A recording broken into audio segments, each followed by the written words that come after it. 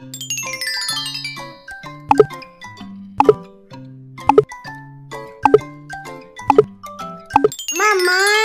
selvagem.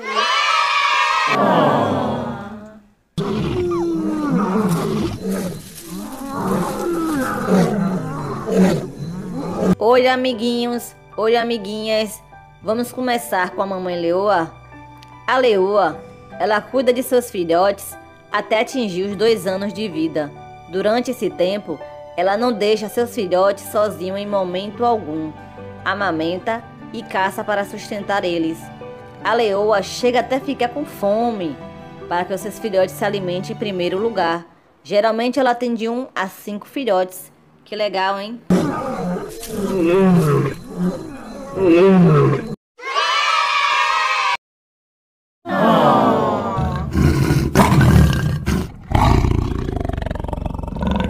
Agora é a vez da mamãe tigresa. Ela é sigilosa e protetora com seus filhotes, pois ela cuida deles sozinha.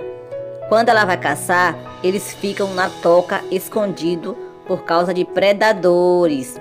Ela cria os filhotes e eles crescem fortes sob os olhos observadores da mãe. Geralmente ela tem de dois a três filhotes.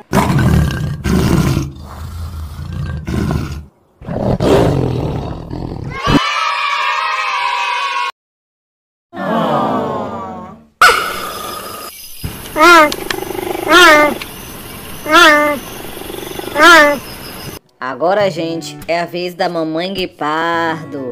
Ela cria seus filhotes também sozinha, isolada de outros animais da sua espécie. Essa mamãe é independente e tem um grande cuidado de proteger os bebês. Geralmente, a cada quatro dias, ela gosta de trocar seus filhotes de lugares por causa de predadores. Geralmente, ela tem dois a cinco filhotes.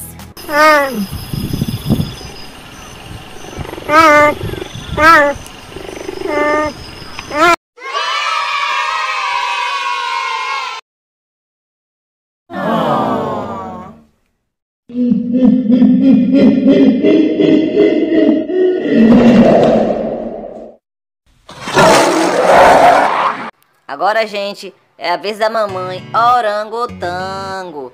Ela só tem apenas um filhote, certo? A convivência entre a mamãe e o filhote é um dos mais fortes que existe na natureza, quase parecido com um ser humano.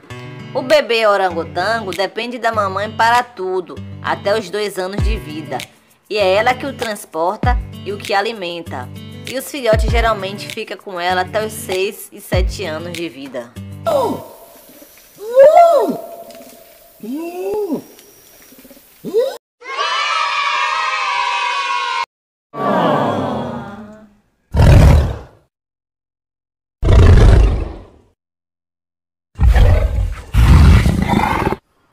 Agora é a vez da mamãe gorila.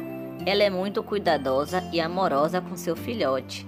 Ao nascer, ele fica bem agarrado ao peito da mãe, para que assim possa se alimentar direitinho, hein? Ela tem apenas um filhote e geralmente ele só fica andando nas costas dela a partir do terceiro mês de idade.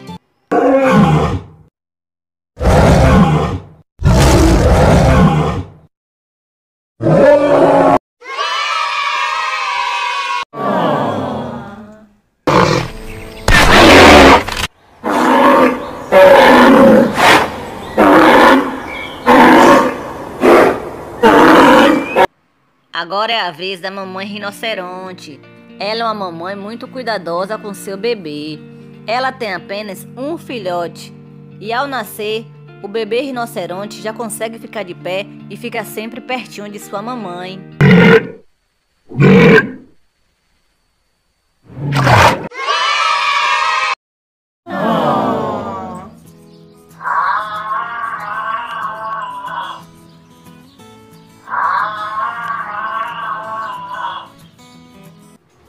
Agora é a vez da mamãe girafa. Ela também só tem apenas um filhote. O filhote mama até os 13 meses de vida e permanece junto com sua mamãe do 15 aos 18 meses de vida.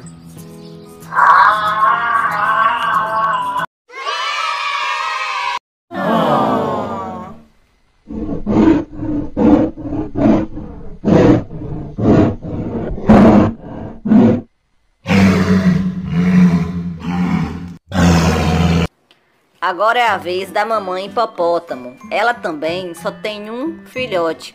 Os filhotes ficam com a mamãe por um longo período, sendo amamentado por cerca de um ano.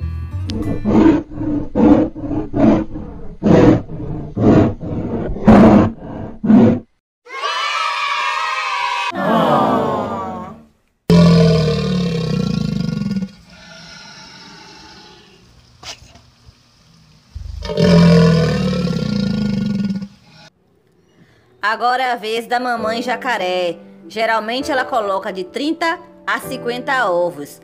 Caso algum filhote tenha dificuldade de nascer, a mamãe ajuda mordendo cuidadosamente os ovos. E ela que carrega cada um na boca até a água.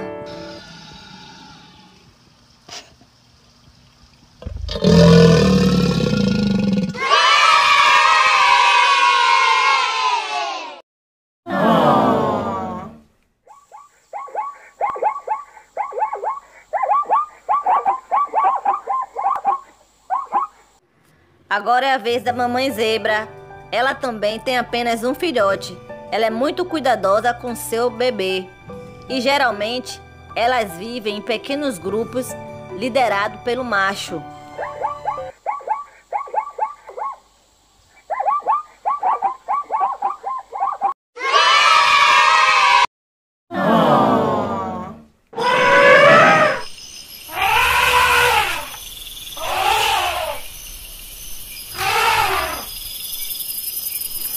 Agora é a vez da mamãe elefante. Ela também é muito cuidadosa e exigente. Ela tem apenas um filhote. As outras fêmeas do grupo ajudam a cuidar do bebê e auxiliam em seus primeiros passos após o nascimento.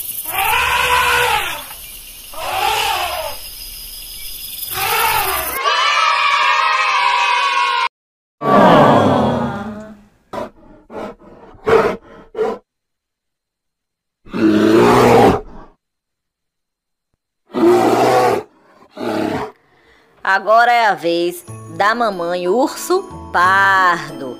Ela é uma mãe muito cuidadosa, geralmente tem dois filhotes e amamenta seus bebês até os seis meses de vida.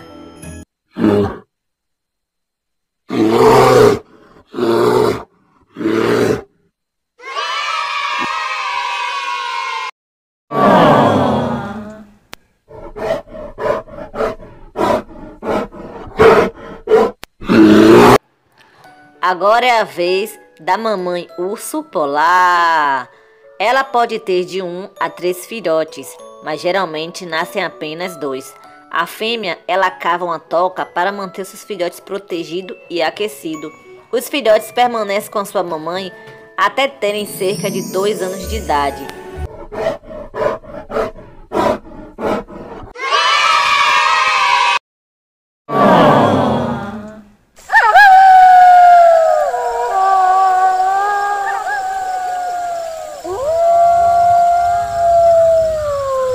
Agora é a vez da mamãe lobo. Ela é muito cuidadosa e protetora. Geralmente, ela tem seis filhotes e os filhotes ficam na toca até completar três semanas. Depois disso, eles saem para explorar a natureza.